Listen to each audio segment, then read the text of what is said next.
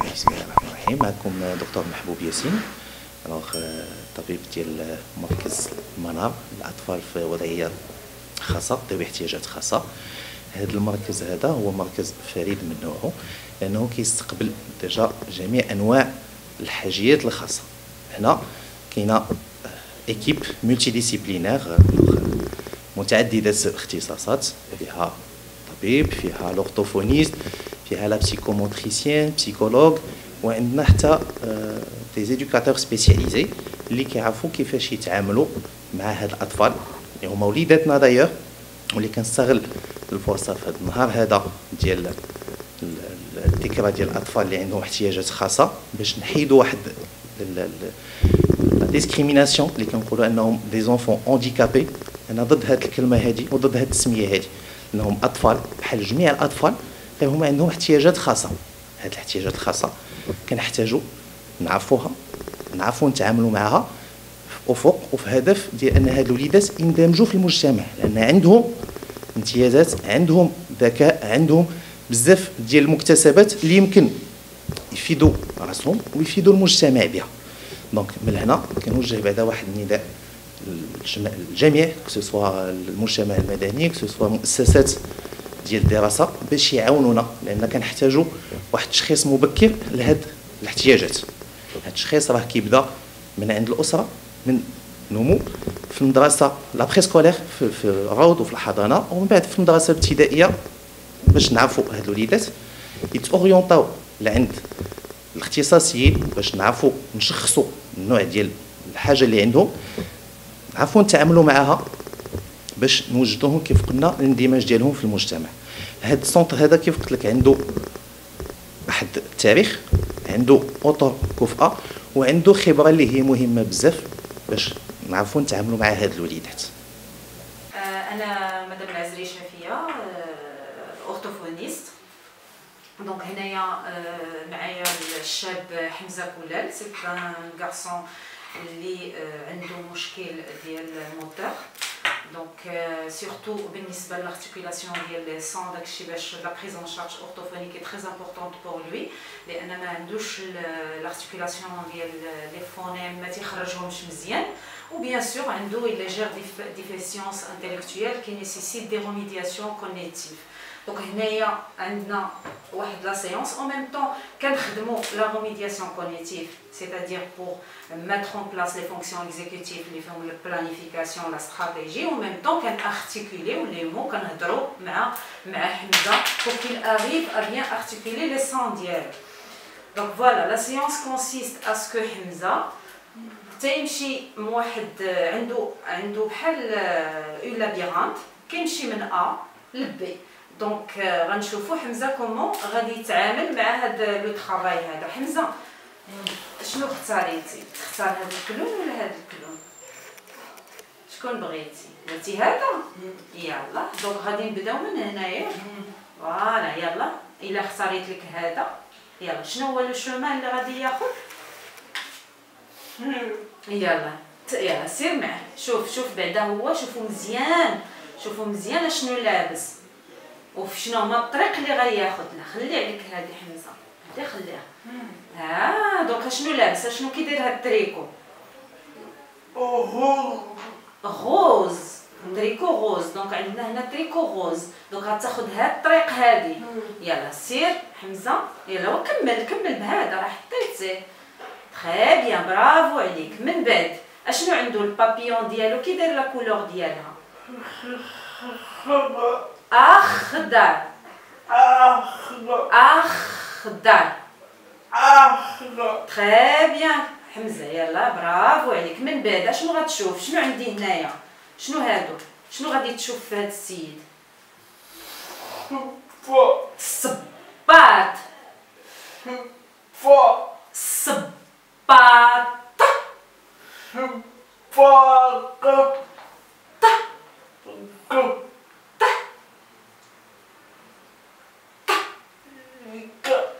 يلا دونك شنو؟ هاد اللون اللي عندنا في الصباط هذا شنو؟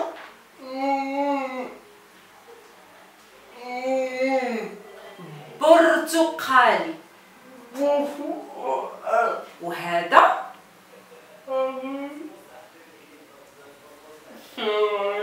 نسيتي. بنفسجي. يلا وكمل الطريق ديالك. تخي بيان برافو ها انت وصلتي شتي وصلتي للطريق نقدروا ناخذ وحده أخرى اختار واحد وحده أخرى يلا واختار ال clown ديالك. يلا دابا ما غنقول لك حتى شي حاجة. دابا راسك غادي تشوف. يلا شنو الطريق اللي غتقبض؟ برافو عليك. très bien excellent زيد زيد برافو السلام عليكم. آه الاسم مصعب قريش.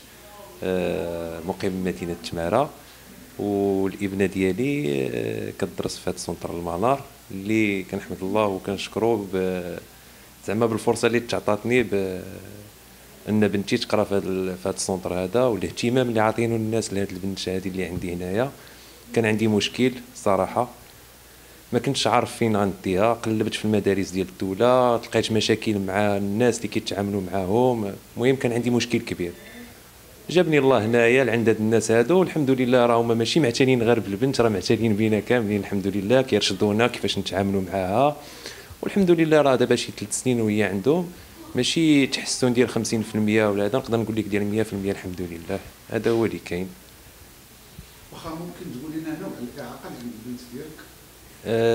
عندها عندها تأخر ذهني وجسدي.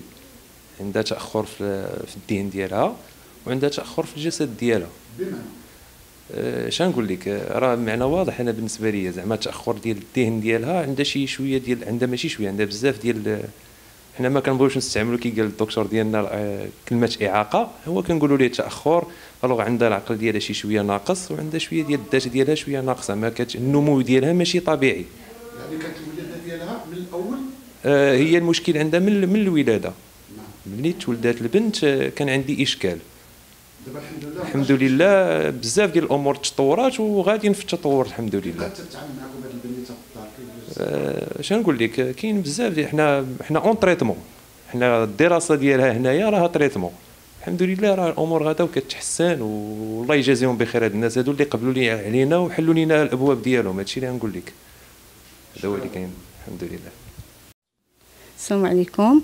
سي لا مامو ديال ايا الفارسي واحد النساء هنا كتدرس مدة آه، تسع سنوات تقريبا.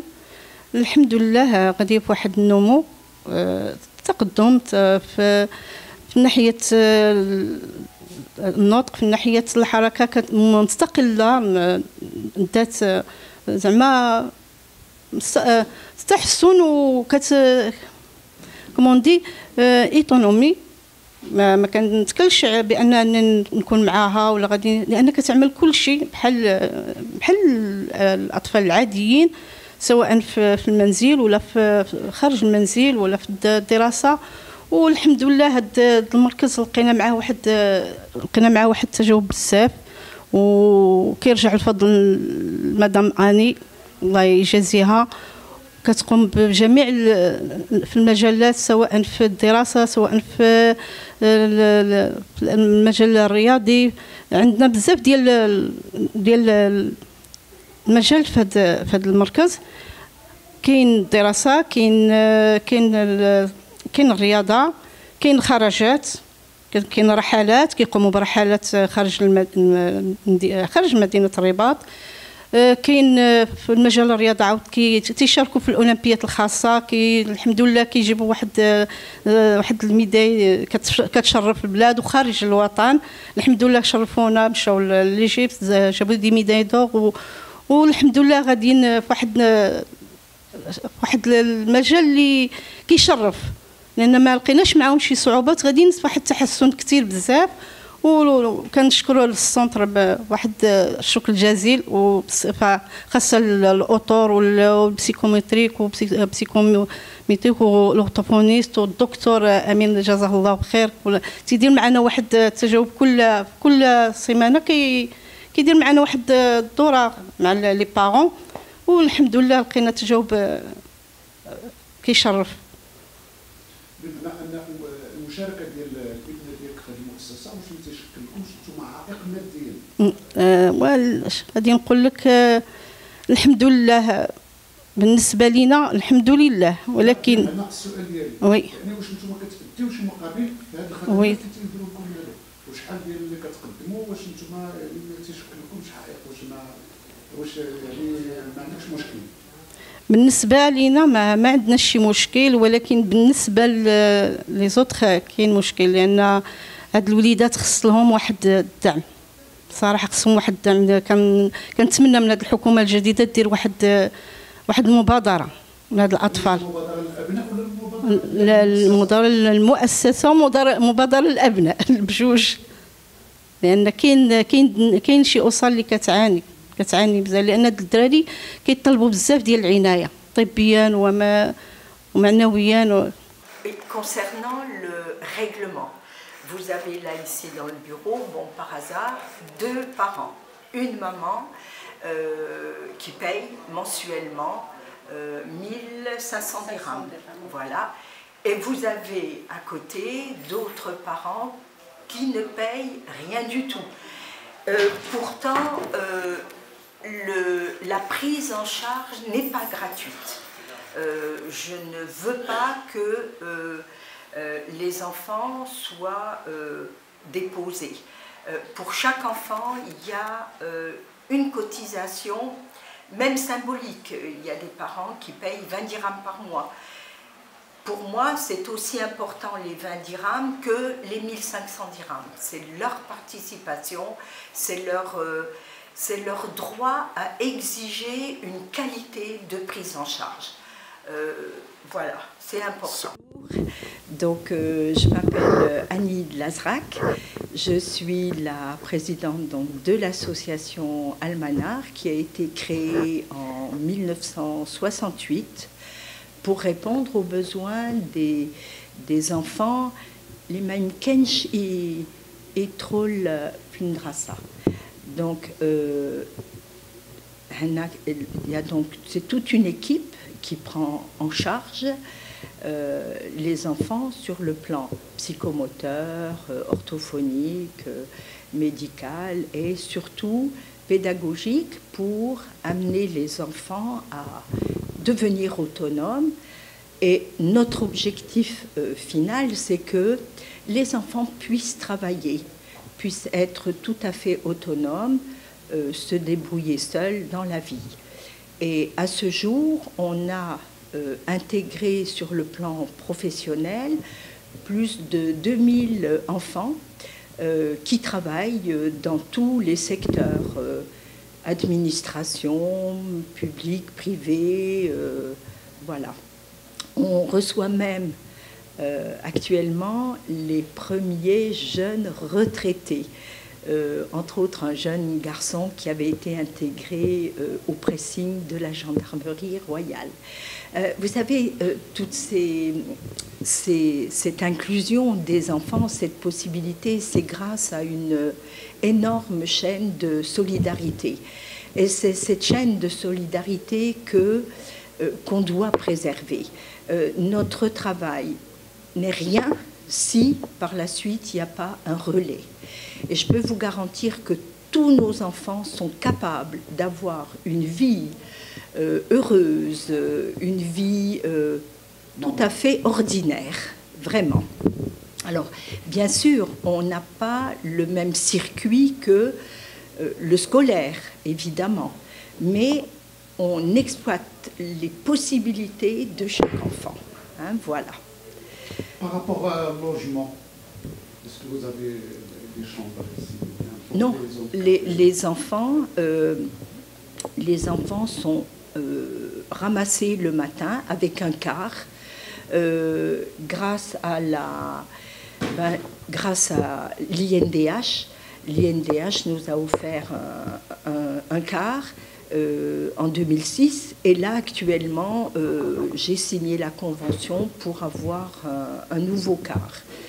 Euh, donc vraiment tout le fonctionnement du centre est grâce à vraiment une importante chaîne de solidarité. Vous posiez la question de comment le centre fonctionne. on a euh, une partie des enfants qui relève de la mutuelle des phares. Euh, et on a une autre partie euh, des enfants qui sont issus d'un milieu vraiment très nécessiteux, qui ne peuvent pas payer une prise en charge. Et donc, on a sollicité des organismes tels que l'OCP, tels que la CDG, et l'année dernière, euh, on a fonctionné uniquement avec la participation d'entreprises qui chaque mois, euh, à tour de rôle, ont pu euh, faire un don pour payer le, personnel ici. cette année, eh ben, on est encore à la recherche justement de, à la recherche de qui va pouvoir nous aider donc je vais ressolliciter peut-être les mêmes euh, entreprises, les mêmes... Euh, mais vous savez, c'est 53 ans qu'on fonctionne grâce à cette... Euh, vraiment grâce à cette chaîne de solidarité.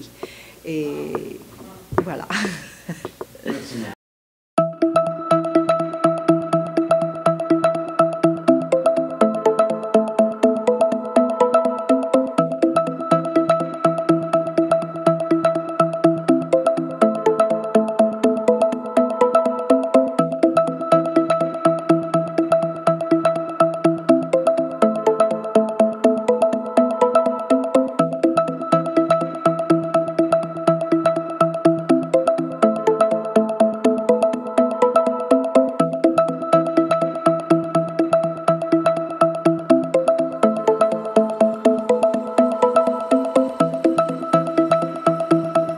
C'est toute une histoire merveilleuse.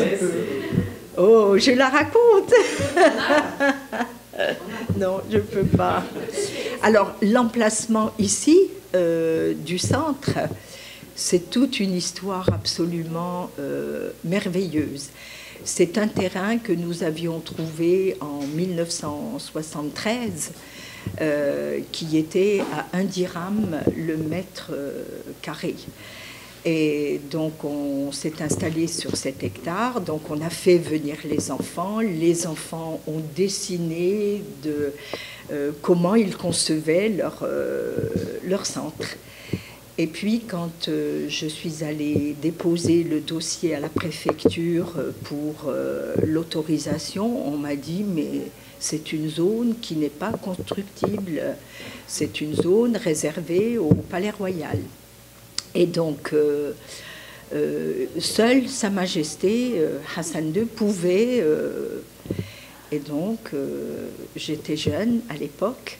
je suis allée demander une audience à Sa Majesté, qui m'a reçue, qui a vu le projet et qui a dit mais c'est une place idéale pour créer un centre pour, pour enfants handicapés. Et c'est vraiment une protection euh, royale euh, que je ne sais pas comment euh, remercier. D'ailleurs, c'est comment vraiment, c'était extraordinaire. Et effectivement, on a la chance d'être dans une zone microclimat et vraiment idéale pour nos enfants. Nos enfants font des, des marches, on est près de la forêt, on est certes un peu loin, mais on a tellement de, bénéfices à, être euh, ici. Euh.